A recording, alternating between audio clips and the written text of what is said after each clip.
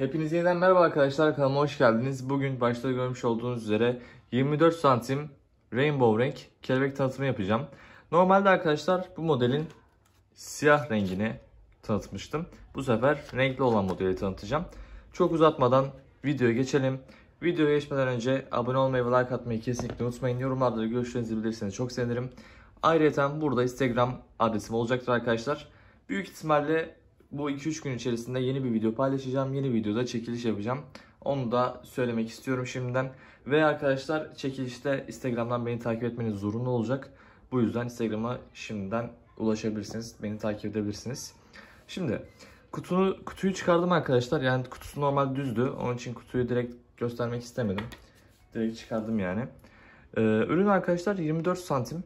Yani diğer standart kelebeklerin boyları 23 santim bildiğiniz üzere. Bu 1 santim daha fazla. Ee, Tabi uzunluğu belli oluyor yani. Daha uzun olduğu belli oluyor. Ee, model arkadaşlar şöyle sıkıp şurayı çektiğiniz zaman açılabiliyor hemen. Ve hafiften sıkıp kapattığınızda da yine güzel bir şekilde kapatabiliyorsunuz rahat bir şekilde. Ee, bu siyah modelinde de olmuş olduğu gibi burada da arkadaşlar yine 3D şeklinde kapatmalı kuru kafalar mevcut. Ee, yine model biraz oval yani sadece köşeli değil yani düz değil. Biraz daha işte şu tam ortalar biraz daha yukarıda. Bu sağ ve sol biraz daha aşağıda. Yani biraz daha oval bir görüntü katılmış. Ee, vidalara gelecek olursak arkadaşlar yine gerçekten güzel olan bir vida sistemi. Perçimli vida. Ee, herhangi bir şekilde bu vida sisteminde gevşeme vesaire olmuyor. Siz isteseniz de sökemiyorsunuz bu vidaları. Ee, sadece şöyle bir durum var. Binde bir başınıza gelebilecek. Yani ben bugüne kadar bu iki üründen de yaklaşık bir 200 tane satmışımdır. Bu 200 satışımdan bir iki tane müşterimde şöyle bir bildirim geldi bana. İşte vidası çıktı. Ee, böyle bir durum oldu. Tabii vidası çıktığında yine çıt çıtlı gibi düşünün. Ee, ikisini birbirine tuttu, oturtuyorsunuz ve çok hafif bir boşluk kalıyor. O boşluğa da herhangi bir şey yardımıyla veya elinizle şöyle bastırıp kapatabiliyorsunuz yani. Çok kolay bir sistemi var arkadaşlar. Ve gerçekten başınızı ağırtmayacak, e, sizi zora sokmayacak güzel bir sistem. Sürekli sıkmanızı gerek duymuyor, duymuyorsunuz. Şimdi kelebeğin içine de bakacak olursak eğer ki yani namlusuna.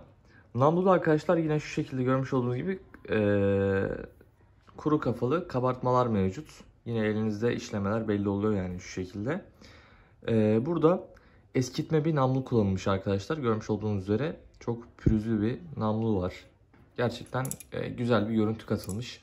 Çünkü bu görüntüye yani şu görüntülere burada dümdüz bir olsaydı şurada parlak bir olsaydı gerçekten kötü olurdu ama e, kabartma yapılması gerçekten güzel olmuş. Ürünün fiyatından da bahsedecek olursak arkadaşlar bundan da bildiğiniz üzere bu normalde 270 TL civarında şu anda. Bu da 5 lira 10 lira daha düşük veya daha yani aynı fiyatlar. E, bu fiyatları işte Instagram sitelerinde, Instagram sayfalarında bulabilirsiniz arkadaşlar. Ayrıca benim kendi şahsi sayfamda da satılık olarak zaten bu model mevcut bildiğiniz üzere. Ee, bu renginde soyulmalar vesaire var mı diye soranlar çok fazla oluyor arkadaşlar. Şimdi ben gökkuşağı ürünleri sayfama koymadan önce veya koleksiyonuma koymadan önce gerçekten bakarım. Hani herhangi bir şekilde soyulma sistemi var hani soyulma gibi bir durum var mı diye.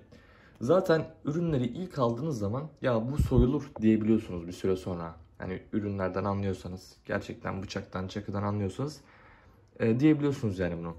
Ama ben şahsen bunu ilk elime aldığımda dedim ya bu soyulmaz asla. Bunda öyle bir problem olmaz.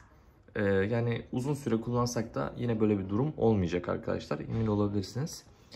E, benim tavsiye ettiğim kelebekler arasına bir tane de bunu ekliyorum arkadaşlar. Bunu da almak isterseniz tavsiye ederim sizlere.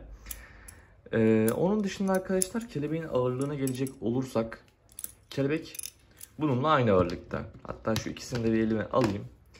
Ee, ikisi de aynı ağırlıkta. İkisinde de fark yok yani. İkisi de aynı. Benim bildiğim gibi arkadaşlar yani büyük ihtimalle 200 gram civarında olması lazım ağırlık. Ee, o ağırlıklarda hatırlıyorum yani. 200 gram da hani kelebeklere göre bir tık ağır ama yine de gerçekten uygun bir ağırlık diyebilirim. Ee, ağır hareketleri sallamayı daha çok kolaylaştırıyor çünkü bu ağır kelebekler.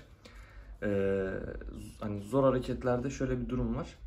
Çok böyle bir hani hareket zorsa ve kelebek hafifse çok basit bir şekilde fırlıyor yani kelebek uzaklara. O yüzden ağır kelebeği daha çok öneririm sizlere. Ee, bu videoyu da burada bitirelim arkadaşlar. Yani şu ikisini de tekrardan bir yan yana alayım hatta şöyle bir göstermek istiyorum. Sonrasında da videoyu bitirebiliriz. İkisi de yine aynı santim. Aynı boy yani. Aynı ağırlık ve şurada da kabartmalar aynı her şey. Ee, en ufak detayına kadar aynı güzel bir model yani arkadaşlar. Hepinize tavsiye edebileceğim güzel modellerdir yani.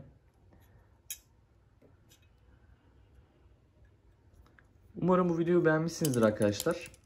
Bir sonraki videoda görüşmek üzere. Kendinize çok iyi bakın. Hoşçakalın.